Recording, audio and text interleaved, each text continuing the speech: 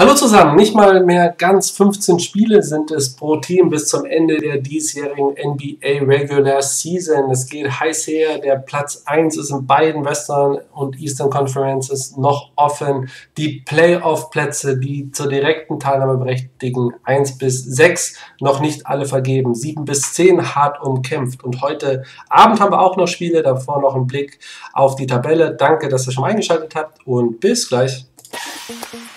Oddspedia, the Sports Betting Community.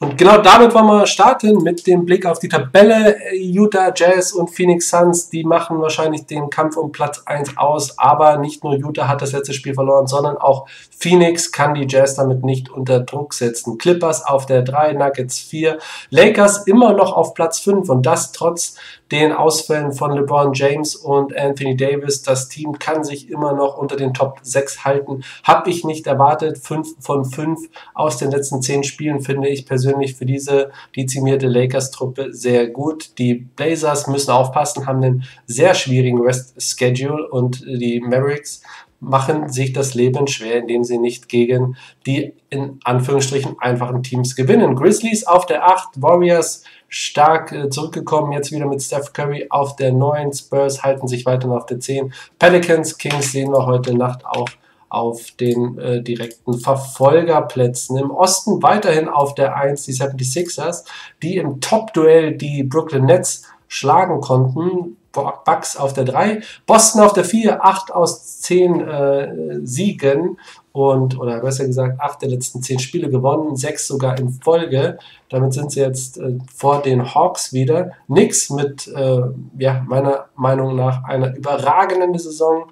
Heat sehen wir heute drei Niederlagen in Folge, Charlotte sehen wir heute vier Niederlagen in Folge und die Verfolger sind dann die Pacers, Bulls, Wizards, Raptors und danach war es das mit Playoff träumen in Cleveland, Orlando und in Detroit. Und wir starten doch gleich mit einem Spiel, was heute um 19 Uhr beginnt. Das sind die Knicks gegen die Pelicans. Sechs Siege in Folge. New York, Respekt dafür, spielen toll. Julius Randle spielt wie ein junger Gott.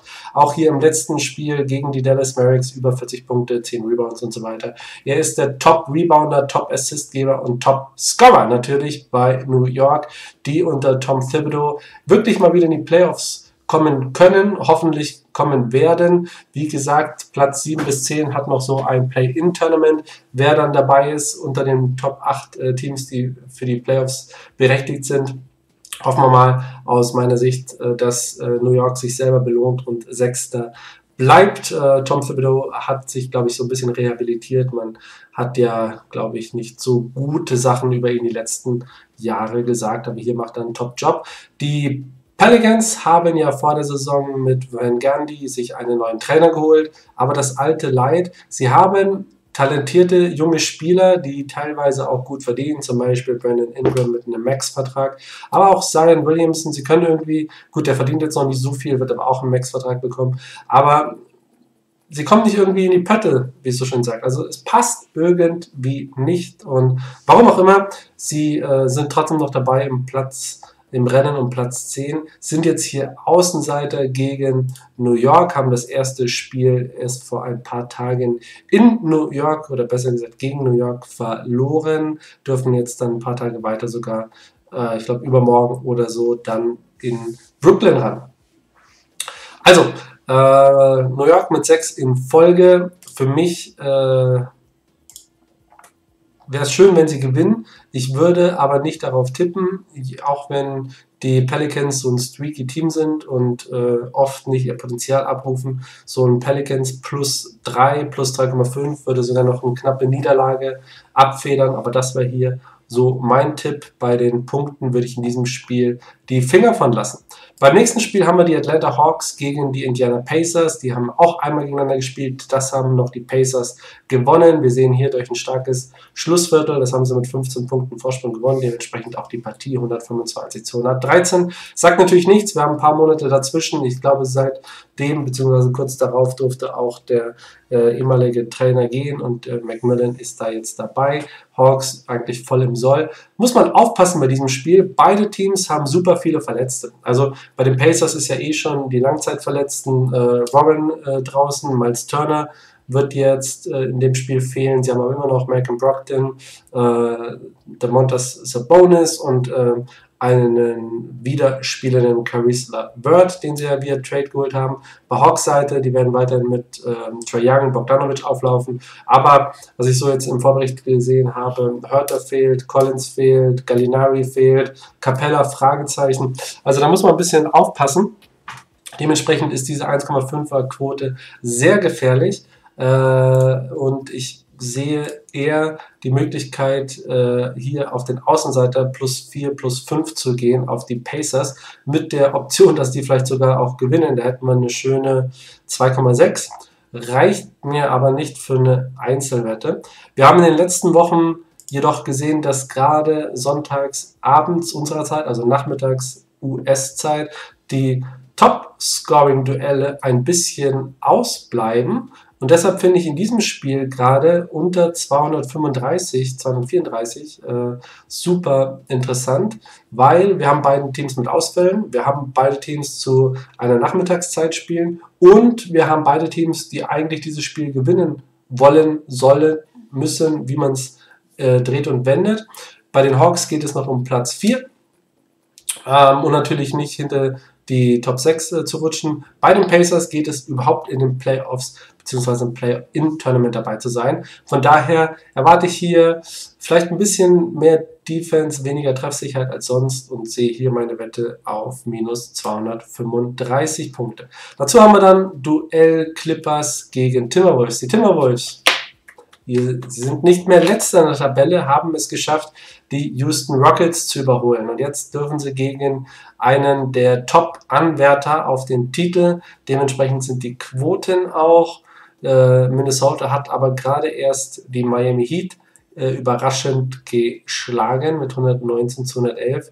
Davor gab es aber dicke Niederlagen gegen ähm, ähm, andere Top-Teams und, und äh, ja, die Clippers haben gegen Joel Embiid 76ers verloren, kann man mal machen. Davor eine mehr oder weniger Buzzer-Beater-Sieg gegen die Detroit Pistons. Also es waren noch, glaube ich, zwei Sekunden zu spielen oder so. Aber alles hier Spiele, wo du sagst, klar, die, die, die müssen sie gewinnen. Und äh, sie, sie waren Favoriten gegen die Pistons, gegen die Pacers, wieder gegen Pistons, gegen Rockets. Äh, wir schauen uns jetzt mal hier die Spreads an. Also was ich sagen will, normalerweise würde ich sagen, Clippers minus 8, minus 9 ist mir ein bisschen zu hoch. Aber wir haben auch gesehen, dass die Timberwolves nicht nur ein wahnsinnig schlechtes Spiel, äh, Team sind, sondern auch gerne Spiele hoch verlieren, wenn es gegen gute Truppen geht. Dementsprechend würde ich hier von einer Wette absehen. Meine Empfehlung ist aber tatsächlich eher plus 9 auf Seiten der Timberwolves. Die Buchmacher erwarten hier auch wieder ein Top-Scoring-Game mit über 235 Punkten. Das lassen wir nicht. Also hier so Idee plus 9 Minnesota spielen. Nein. Hier, ganz interessant, die Kings nehmen sich irgendwie dann immer wieder selber raus, wenn sie mal einen kurzzeitigen Lauf haben. Dallas macht das Gleiche. Also, wenn die die Spiele besiegen, äh, gewinnen würden, die sie, äh, wo sie als Favorit reingehen. Das ist jetzt leichter oder blöder gesagt, äh, als es ist, aber dann wären die schon easy unter den Top 6. Aber sie haben immer mal zwei, drei Spiele, wo man denkt, jetzt geht was. Ist ja äh, mein Team, das ich am meisten verfolge. Und dann gibt es wieder diese ein, zwei Spiele, die mir gar nicht taugen, wo ich mir überlege, da, da fehlt ein Superstar noch oder ein zweiter oder dritter Star. Auf der anderen Seite, wenn du jetzt einfach mal das Team liest, Luka Doncic, überragend, Christoph Porzingis, Max Player, äh, Tim Hardaway Jr., starker Spieler, Jalen Brunson, der überall Starter spielt, eine bockstarke Saison. Dann haben sie noch Josh Richardson, dann haben sie noch jetzt JD Reddick, äh, auf Big Man Position vielleicht nicht ganz so sexy, aber trotzdem Dorian Finney-Smith, Maxi Kleber. Ähm, ich weiß jetzt gar nicht, wen ich noch alles vergessen habe, aber gar nicht mal so verkehrt. Paul halte jetzt nicht so viel davon. Nicola Melli, okay, muss man mal gucken. Aber ähm, sie dürfen sich solche Niederlagen wie gegen die Spurs, wie gegen die Knicks nicht erlauben. Gegen die 76ers sagt ja keiner was. Aber hier auch dieses dieser Sieg gegen die Grizzlies, ein absoluter Wahnsinns-Buzzerbeater von Luka Doncic. Unbedingt anschauen, falls du es noch nicht getan hast. Aber da waren sie halt auch zwei Sekunden vor Schluss, zwei Punkte hinten und ähm, ähm, seinen Namen jetzt vergessen, aber ich glaube Allen oder so, äh, hatte zwei Freiwürfe. Der ist ein 91-prozentiger Freiwurfschütze, hat beide versemmelt. Also reine Zufallssieg sozusagen und die Kings, das ist eine Truppe, die den ähm, Mavs normalerweise gar nicht taugt. Also normalerweise verkacken sie es ganz gerne. Wir sehen auch hier im ersten Spiel haben sie im fünften Viertel, also im, im, fünften Fünftel in, in, der Verlängerung dann erst gewonnen. Und äh, gefährlich. Also hier würde ich aufgrund dessen, wie sich Dallas präsentiert hat, unabhängig von den letzten Niederlagen von Sacramento, denn die sind eigentlich auch, ist ja nicht frech. Also hier, das, das ist ja, da müssen sie mindestens zwei, drei gewinnen. Also dann schwierig, schwierig. Die Quoten plus neun ist aber trotzdem wieder hier auch auf den Außenseiter attraktiver, weil Dallas mich gar nicht überzeugt hat. Wenn die beiden Teams spielen, haben wir auch wieder die Line ungefähr so bei 230, 235 Punkten. Also hoffen wir mal, dass Dallas äh, emporkommt. Ich glaube aber erst dann, wenn ich morgen aufwache und äh, dann mein Handy sagt, Dallas hat gewonnen. Die Toronto Raptors sind haushoher Favorit gegen die Oklahoma City Thunder, die derzeit alles verlieren, was man verlieren kann, zumindest in den letzten fünf Spielen. Äh, hier Jill Kill Alexander äh, fällt auf jeden Fall aus. Sie sind sehr verletzungsgeplagt. Er Horford spielt ja sowieso nicht. Die Raptors äh, im Rahmen ihrer Möglichkeiten. Äh, da wird jetzt Gary Trent Jr. ausfallen, sehr wahrscheinlich. Der hat ja auch jetzt schon hier mehrere starke Spiele für Toronto gemacht. Ähm, das erste Spiel hat äh, Oklahoma gewonnen, darauf nehmen wir keine Rücksicht. Ich glaube, wer auf dieses Spiel wetten soll, der äh, möchte, der sollte vielleicht noch ein bisschen warten. Ich denke, die Verletzungsausfälle von Toronto sind hier noch nicht eingepreist in der Quote.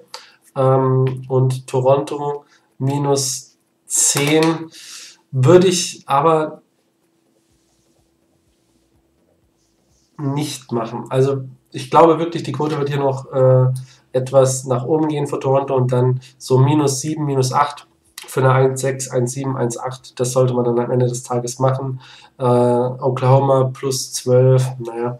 Äh, ist halt schon eine große, großer Spread für ein Team wie die Raptors, die eine negative Bilanz haben, die leider zu Recht äh, da hinten auf äh, 8, 9, 10 äh, rumpimmeln und da, äh, warum soll man denen jetzt hier einen Vorsprung gewähren von minus 12 Punkten? Keine schöne Quoten. Kein schönes Spiel sehen wir auch hier. Orlando Magic gegen die Houston Rockets. Beide im Ausverkauf, beide extrem verletzungsgeplagt.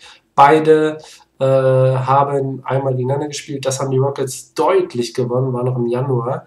Die äh, Magic, die haben den ein oder anderen Achtungserfolg erreicht, aber ähm, wie sie das Spiel hier gegen Orlando gewonnen haben, wissen sie selber nicht.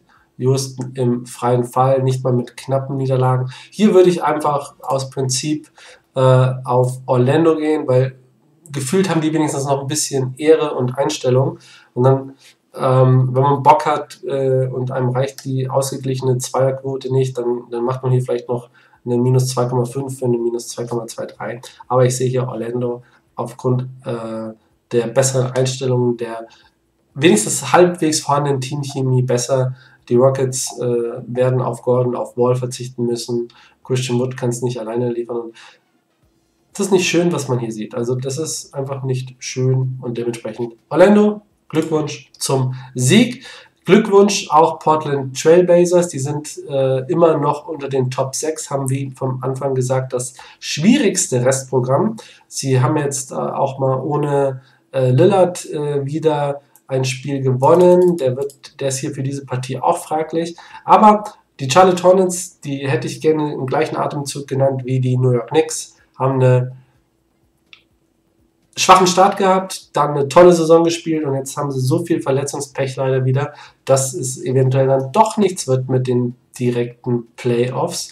Bisschen schade. Gordon Hayward draußen, äh, Lamelo Ball draußen, Bridges, glaube ich, angeschlagen, Washington angeschlagen.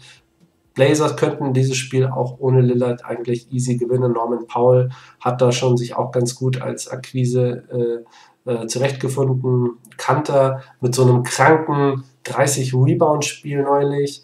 Knappe Niederlage gegen Boston kann passieren. Gegen Miami kannst du mal verlieren, das passt auch, gegen Utah sowieso, aber die gewinnen dann schon irgendwie, was sie gewinnen sollen. Deshalb würde ich hier definitiv auf die ähm, Portland Trailblazers gehen und da schauen wir uns mal an, welchen Spread wir wählen, weil den nehmen wir natürlich mit. Minus 4, minus 4,5 für die 1,9. Danke, ciao. Ich wüsste nicht, warum ausgerechnet Charlotte in diesem Spiel aufmucken sollte. Dafür braucht Portland den Sieg einfach zu sehr. Und ja, dann sind wir schon beim Spiel der Miami Heat gegen die Brooklyn Nets. Das letzte für heute.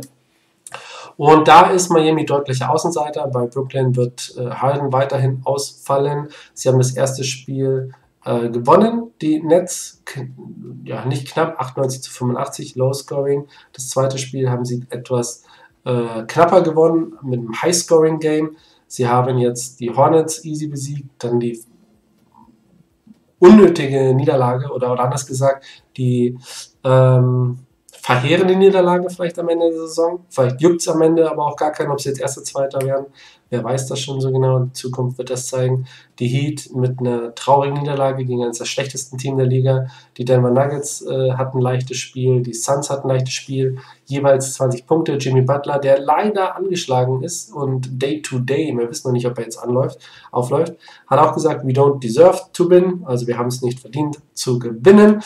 Und ich hoffe, das habe ich jetzt nicht extra übersetzen müssen, weil normalerweise solltest du schon 18 sein, wenn du hier zuschaust und dementsprechend auch über Englisch als Basketballfan sowieso äh, Bescheid wissen. Ähm, wir schauen mal die Quoten mit den Spreads. Wenn Jimmy Butler spielt, glaube, dass das Miami-Team ordentlich aufgerüttelt wird, weil die müssen ja auch mal irgendwie ein paar Punkte äh, machen und gewinnen, würde ich definitiv Miami plus 6 spielen wollen. Wenn Butler nicht spielt, äh, dann würde ich vermuten, dass wir hier dieses plus 6 eher so ein plus 8, plus 9 sehen. Und dann kann man das auch sich überlegen. Sie spielen daheim zu einer Nachmittagsuhrzeit. Also das ist, wir haben ja als Deutsche heute um 21.30 Uhr gleich nochmal die Möglichkeit, ein spannendes Spiel zu sehen und ich bin mir sicher, dass das spannend wird. Und ähm, die Line ist gut gewählt von den Buchmachern, 225 Punkte.